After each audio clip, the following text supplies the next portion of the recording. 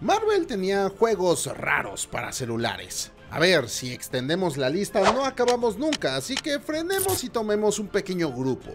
Juegos para móviles basados en el universo cinematográfico de Marvel. Hubo varios, y es que la alianza de Gameloft no era cualquier cosa, siendo que esta desarrolladora tenía experiencia y contaba con una carpeta de gran número de juegos famosos que seguro probaste al menos una vez en tu vida.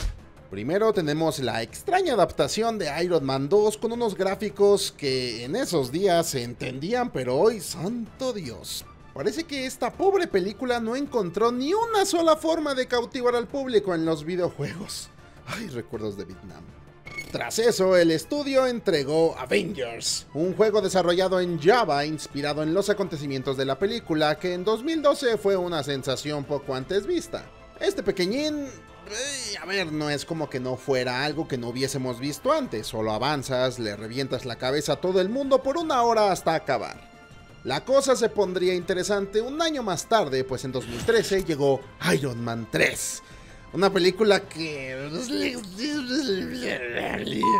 Luego del fracaso visto en los juegos de Sega y la cancelación de Avengers por parte de THQ, Parecía que Marvel no apostaría en videojuegos para consolas de sobremesa o la PC Master Race. Pero no era momento de ignorar los mundos digitales en lo más mínimo, pues había un mercado interesante y lucrativo que se encontraba en auge y al que claramente no dejarían pasar. Los free to play para celulares. La maravilla de los smartphones nos permitió cargar videojuegos más complejos que simples beat'em up en 2D, y para el estreno de la tercera entrega del Hombre de Hierro se lanzó una experiencia gratuita basada en la película. Iron Man 3 era, y digo era porque suerte consiguiéndote una versión funcional en dispositivos actuales, una especie de Infinite Runner, solo que en este caso vuelas en vez de correr por distintos escenarios, esquivando todo tipo de obstáculos o luchando con diferentes enemigos. Si me lo preguntas, la gracia de este y el por qué se volvió tan adictivo era por la posibilidad de desbloquear muchas armaduras. Para un adolescente de esa época como su servidor, esto era hypeante, en especial por las más de 40 que salían en la película. Solo eran skins, no te daban ninguna otra característica interesante más que habilidades especiales, algunas enfocadas en lo táctico y otras en el ataque.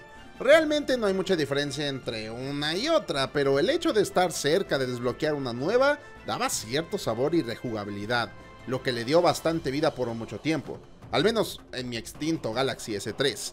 Los enemigos llegaban en distintas formas y tamaños y debes presionar la pantalla para lanzarles ataques de energía y soltar ráfagas que te liberen de problemas. Como es normal en este tipo de juegos, entre más distancia recorras, más rápido irás, y como Iron Man parece que no conoce el significado de la palabra frenar, tendrás que hacer uso de tus reflejos para no terminar estampado en un camión como mosca.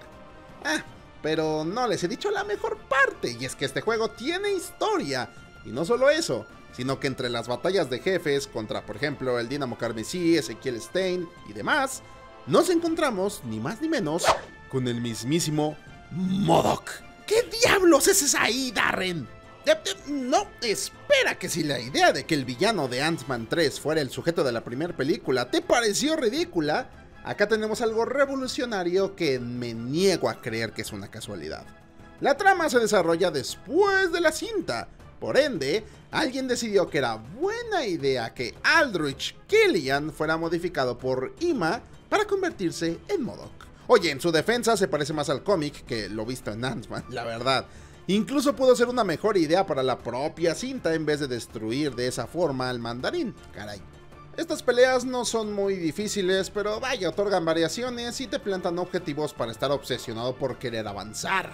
Además, cada uno de los encuentros te da un poco de contexto acerca de quiénes son estos villanos. No es demasiado, pero oye, es un detalle interesante. Todo muy bonito, pero no olvidemos que esta cosa estaba atascada de microtransacciones, por ende debía soportar tiempos de espera eternos y para crear tus armaduras debías conseguir recursos que eran muy difíciles de encontrar, haciendo que sea frustrante para jugadores sin paciencia o sin cartera. A ver, es cierto, en su día no me pareció problemático, pero no negaré que con el paso de los años este modelo de negocios Ay, no solo dejó de parecerme atractivo, sino que ya le perdí totalmente la paciencia. Tenías que esperar para todo, compras una mejora, aguántate 10 minutos para que sea aplicada, pero si no quieres, puedes pasar por caja y que de esa forma sea inmediato. Hijos de la chingada. Me imagino la bandita que aplicó esto con todas las armaduras, se han de haber llevado una buena lana estos desgraciados.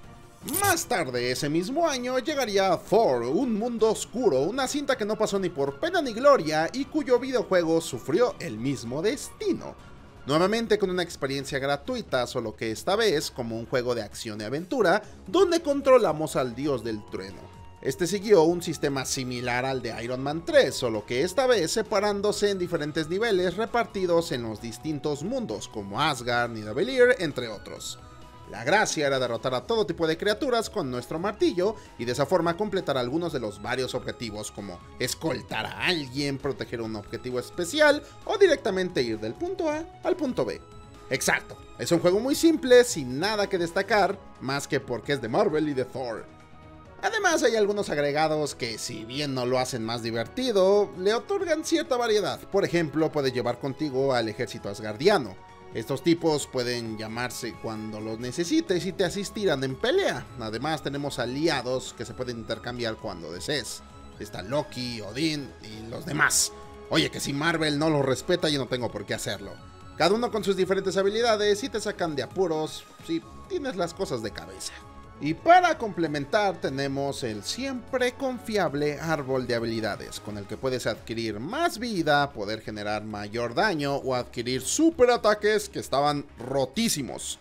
Todo muy lindo, pero el encanto se me acaba cuando recuerdo lo manchadas que estaban las microtransacciones. ¿No me crees? Siéntate y escucha. Para mejorar al personaje necesitas un recurso raro. Conseguir personajes nuevos, igual y si estos resultan heridos, debes pagar con la moneda del juego para revivirlos.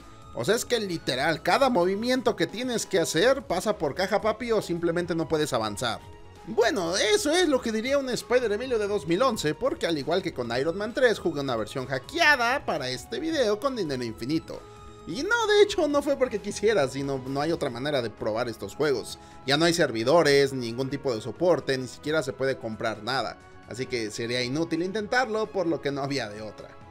Estos defectos ahora solo viven en mi memoria. Pero no me atrevería a decir que es un mal juego, de forma curiosa tenía lo suyo, podías desbloquear todo tipo de trajes de Thor inspirado en puntos claves de los cómics, hasta podías cargar con diferentes martillos, cada uno más poderoso que el anterior, y con skins realmente interesantes. El combate tampoco estaba mal, digo, Sí, ya sé, era un típico juego donde apachurrabas la pantalla hasta acabar con todo lo que se te ponía enfrente, pero las habilidades eran vistosas hasta eso y satisfactorias de utilizar. Tenía lo suyo en cierta perspectiva. Me habría gustado poder visitar los diferentes mundos como quisieras, pero vaya, comprendo que el modelo de negocios tenía que desesperarte un poquito para obligarte a pasar por caja.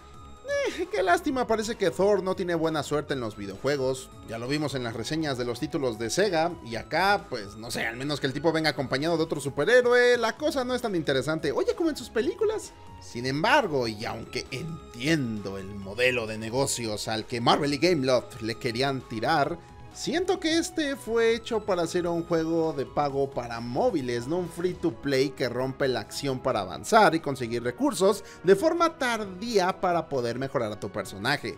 Cóbrame, no sé, 10 dólares y permíteme jugar todo el juego de una sentada. Obviamente esto es en un mundo ideal porque sabemos que no lo iban a hacer.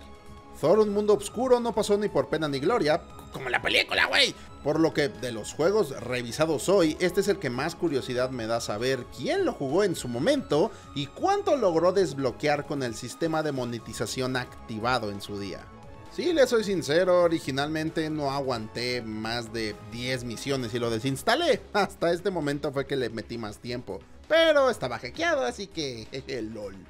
Y no, aún no hemos terminado. Estos juegos aún tenían un as bajo la manga para completar a la llamada por los fans Trinidad de Marvel. Así llegó Capitán América de Winter Soldier. La favorita de muchos hablando de las películas porque el juego no es como que haya mucho de donde comentar.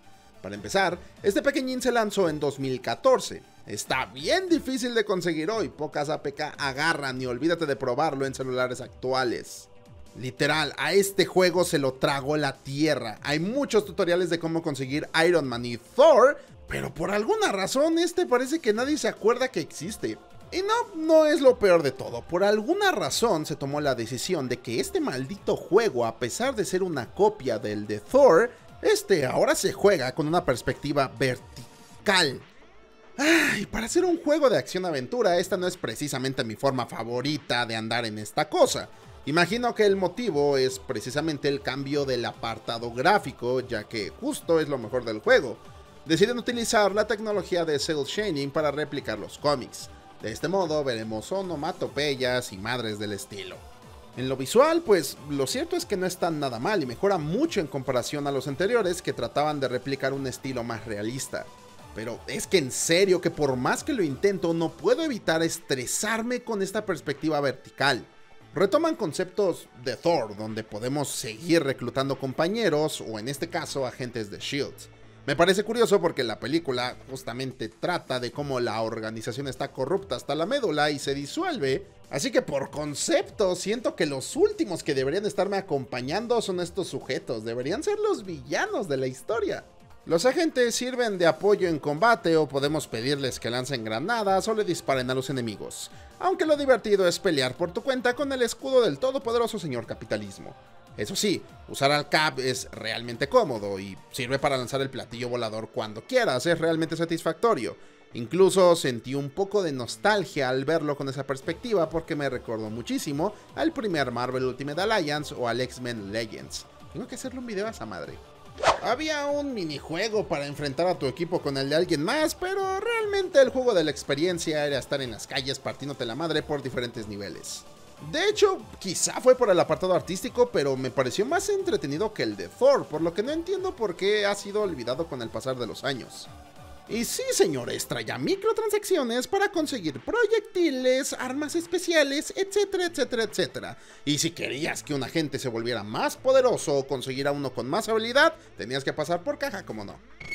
2014 vio de hecho varias colaboraciones entre Marvel y Gameloft, de Amazing Spider-Man 2, Spider-Man Unlimited, del cual ya tengo un video, pero El Soldado del Invierno fue el último basado en el UCM. A partir de 2015, la Casa de las Ideas decidió desconectarse de la desarrolladora para nuevas experiencias y buscar otros equipos para hacer trabajos distintos. Los juegos mencionados acá estuvieron activos por un buen rato, pero desactivaron los servidores y hoy solo son un recuerdo. Ok, ¿cuál era el mejor? Obviamente en lo visual nos vamos por Winter Soldier, pero hablando en sí del modelo de negocios y del esquema en general del juego, siento que Iron Man 3 es el que era más coherente consigo mismo. Su principal objetivo era conseguir armaduras, aguantar el mayor tiempo posible dentro de una partida. Era prácticamente el esquema general de lo que uno esperaría de este tipo de experiencias. Claramente dependía de ti si querías ser paciente para conseguir elementos importantes o simplemente pasar por caja. Pero en sí, siempre estaba la posibilidad de seguir jugando para tratar de conseguir estos elementos, y eso era lo divertido. En cambio, tanto el Capitán América como Thor, tratando de ser juegos de acción-aventura, siento que el sistema de microtransacciones estaba muy forzado y metido a la y se va. Obviamente tratando de aprovecharse de todos los morrillos que fueron a ver la película para que sus papás les prestaran la tarjeta o se la robaran. Eso no se hace, no lo hagan muchachos. Aún así, viendo en retrospectiva el título del gigante de hierro, sí estaba un poquito manchado que cada cosa que tocabas pasa por caja para que sea más rápido.